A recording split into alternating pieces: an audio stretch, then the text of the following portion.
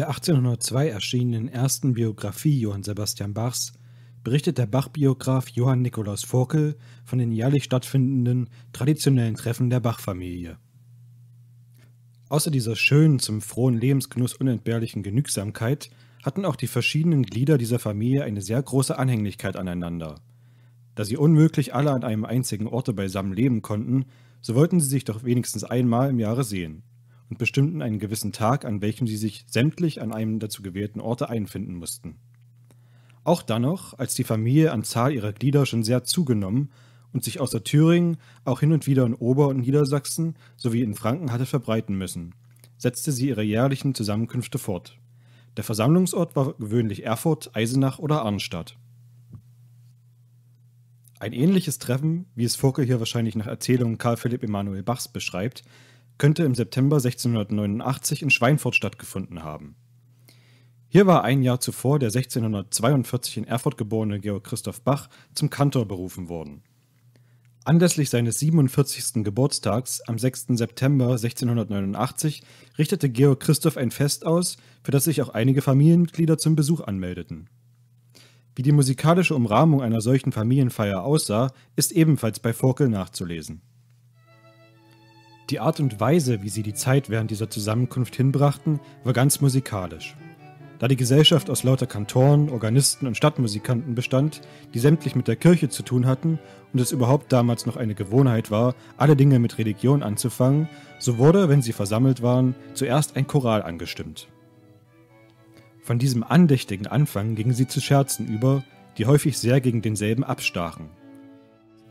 Sie sangen nämlich nun Volkslieder, teils von possierlichem, teils auch von schlüpfrigem Inhalt zugleich miteinander aus dem Stegreif so, dass zwar die verschiedenen extemporierten Stimmen eine Art von Harmonie ausmachten, die Texte aber in jeder Stimme anderen Inhalts waren.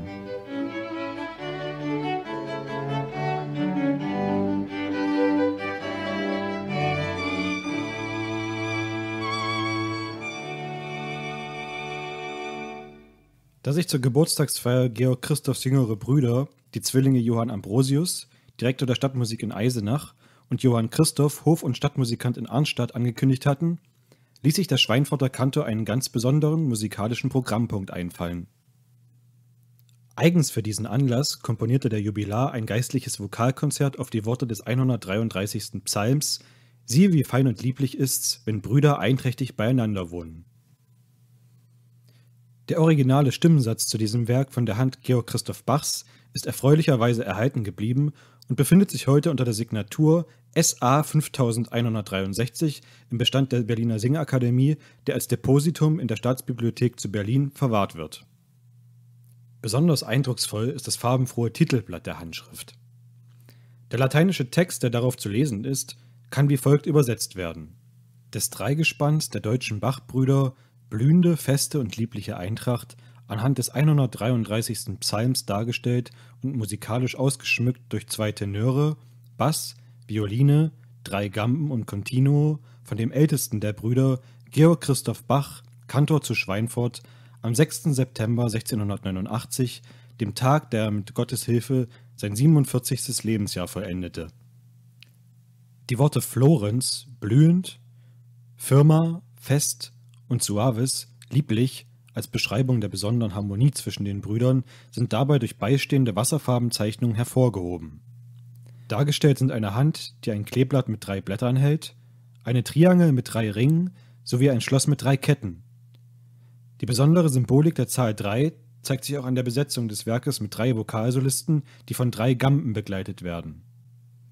Darüber hinaus weist die Komposition eine dreiteilige Anlage auf.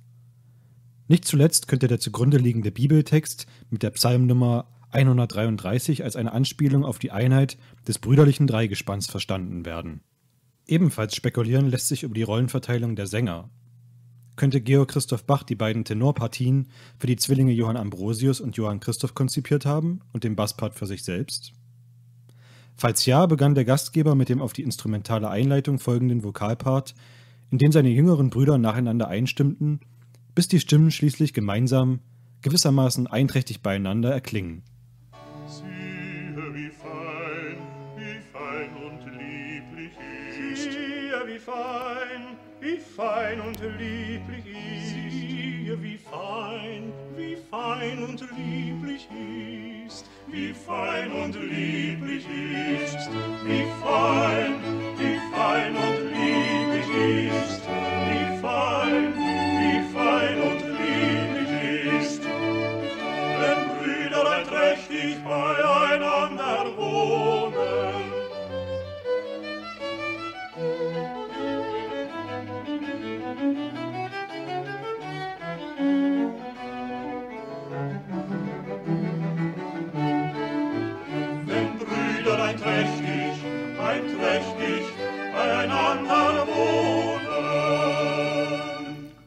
Inwieweit weitere Mitglieder der Bach-Familie als Instrumentalisten mitwirkten und ob die Zwillingsbrüder Johann Ambrosius und Johann Christoph alleine nach Schweinfurt oder in Begleitung ihrer Familien reisten, ist nicht bekannt.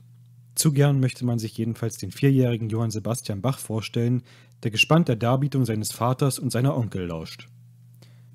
Doch auch wenn Johann Sebastian Bach 1689 nicht in Schweinfurt zugegen war, so kannte er die Geburtstagskomposition seines Onkels selbstverständlich. Zusammen mit einigen anderen Werken der älteren Bach-Familie, die er möglicherweise aus dem Besitz seines Arnstädter Vetters Johann Ernst erwarb, befand sich der Originalstimmensatz des Vokalkonzerts nämlich im Besitz des Leipziger Thomaskantors. Wie Peter Wolny aufgrund der kalligraphischen Gestaltung vermutet, könnte der Stimmensatz von Georg Christoph Bach als Andenken an die Geburtstagsfeier vom September 1689 für seinen Bruder Johann Christoph angefertigt worden sein.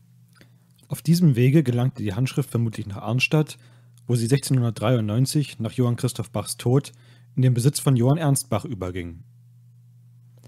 Nach dem Tode Johann Sebastian Bachs gelangte der musikalische Familienschatz schließlich in den Besitz seines zweitältesten Sohnes Karl Philipp Emanuel Bach.